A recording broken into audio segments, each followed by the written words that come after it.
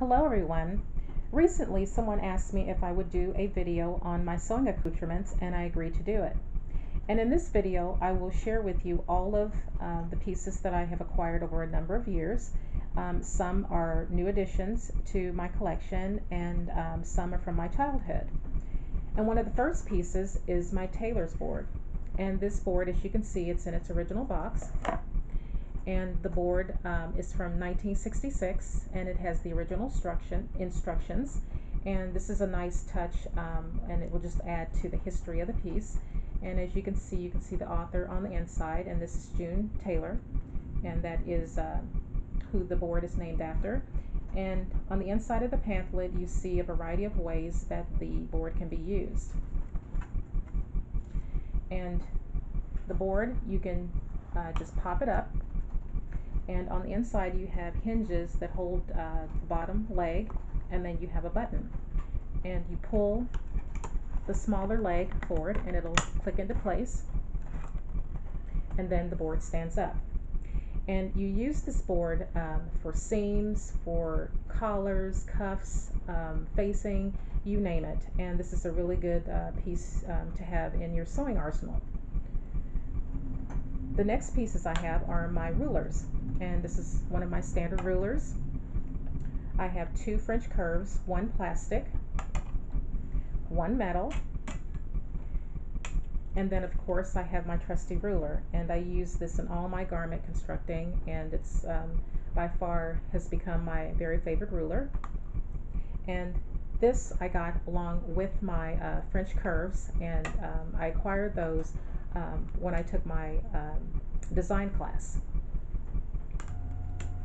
Next, I have my tailor's clapper, and this is something that I recently acquired, and this is a really good item to have in your um, in your sewing collection. Next is a tape measure from eighth grade, and uh, this tape measure was given to me by my mother. My mother uh, taught me how to sew, and um, I continued my training um, in school in, in eighth grade, and it continued forward. The next item are my scissors, and these scissors are uh, some of the best scissors I've ever had, and uh, they were quite pricey, and it was um, worth the investment. And I only use this for uh, my sewing and nothing else. Next, I have my tailor's chalk, and uh, you, as you can see, there are a variety of colors. And um, I will use, um, I will change up, either I'll use tailor's chalk or I'll use my tailor's pencils. It just depends on uh, what I'm deciding to do um, when I'm uh, constructing a garment.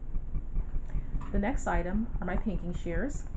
And these pinking shears are uh, circa 1940s, 1950s. And uh, this is from the J. Wiss and Sons Company. And uh, these um, pinking shears are just uh, the best things around. And um, as you can see on the inside, I have uh, the Model C pinking shears. And in the upper left corner, um, the pinking shears uh, were owned from the, um, is the original owner of the pinking shears. And as you can see, it's come in its original box, and that's quite nice. The next piece is my point turner, and this point turner I haven't had an opportunity to use just yet, but um, this is uh, good if you have a uh, pointed collar and you want to make sure that you uh, get that point just right and you would uh, insert this on the inside of the garment and push the point forward and it'll give you a nice um, nice finish to that uh, collar. And then also you can use this um, to um, remove basting stitches and you can also use it when you're attaching your buttons. The next items I have are uh, from the Singer Sewing Company and uh, these are from the 1950s and uh, this is a uh, tailor's ham and a sleeve roll and these items um, as you can see are in the original packaging and uh, the fabric on the back is a um, blue plaid and it's got red and white stripes through it. And I always keep the packaging for all my vintage pieces. Um, it adds to the integrity and the history of, uh, of those pieces.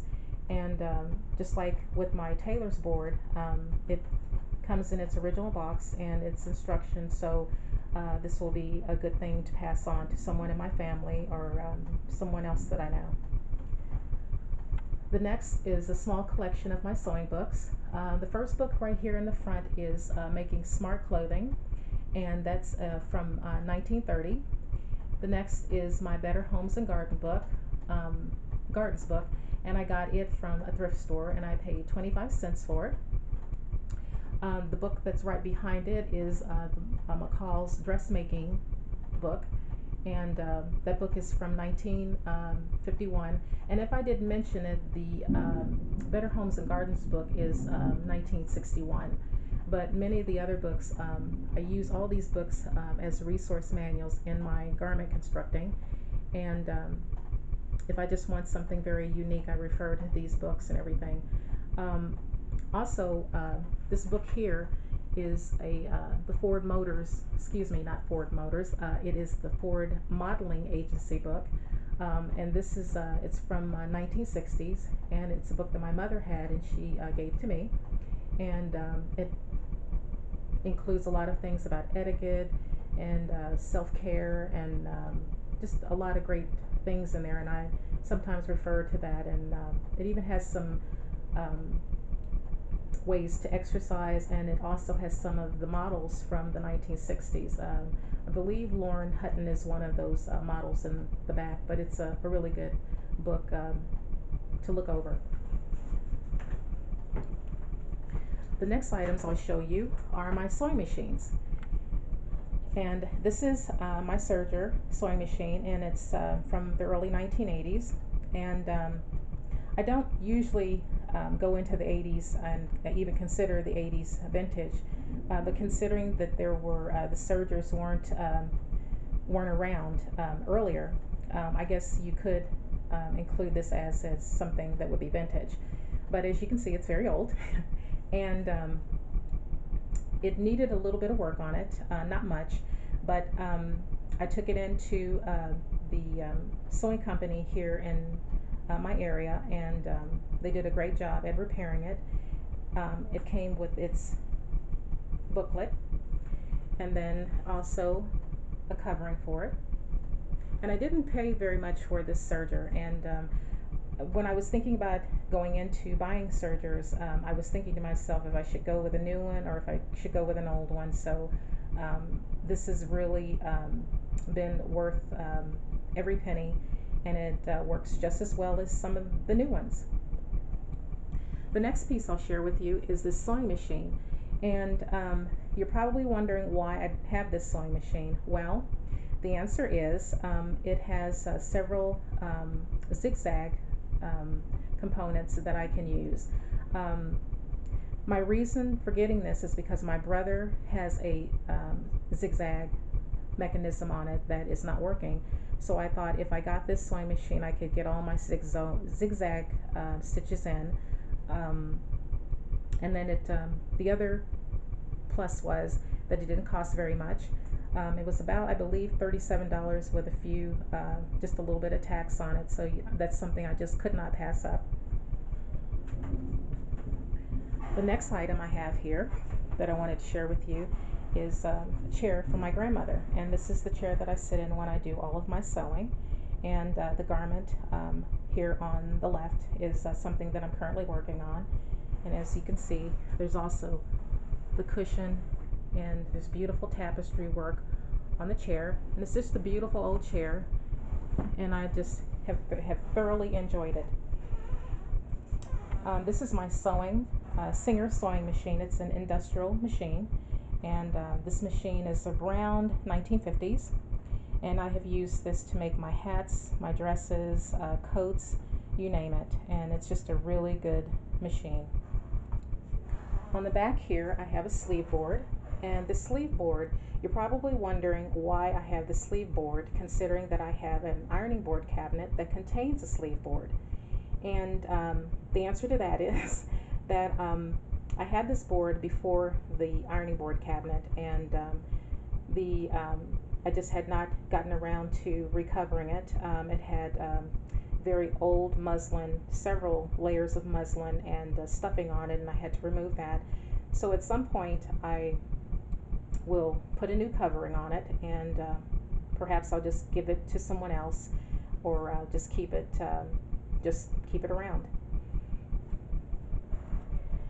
Here's my um, thread cabinet and um, this is just a small portion of my threads.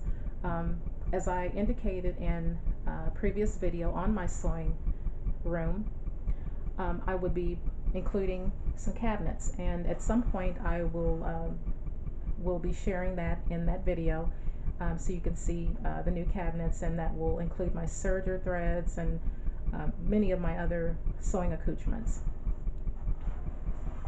The next item is uh, should be familiar to you. This is my um, Sears adjustable dress form and I've had this for a number of years. This is 1950s uh, and uh, Sears produced these dress forms in uh, two styles, um, a style A and a style B. And of course I have the style B. And it has the original uh, decal on it. And I have used this um, for several garments um, that I have constructed. And uh, it will size up or size down. And it has the original stand. And it's, um, it's just a beautiful piece and um, it's um, just something that I have enjoyed using. The next item I have here is a thread box. And this thread box is from the 1970s, as you can see with the pea green color. And on the inside, of course, it contains all my thread, some of my thread, and um, my bobbins.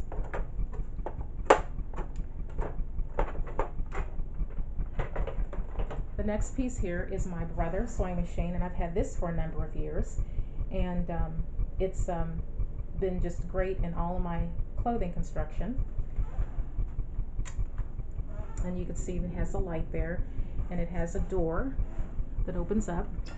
And on the inside, you can see a little slot there where I can put my scissors, my bobbins, my thread, needles, you name it. And right on the side here is a little uh, pedal, and that is a leg pedal, and that is um, how the um, machine is um, used when you're sewing. So you just press that up against it and it will move the sewing machine. So there you have it.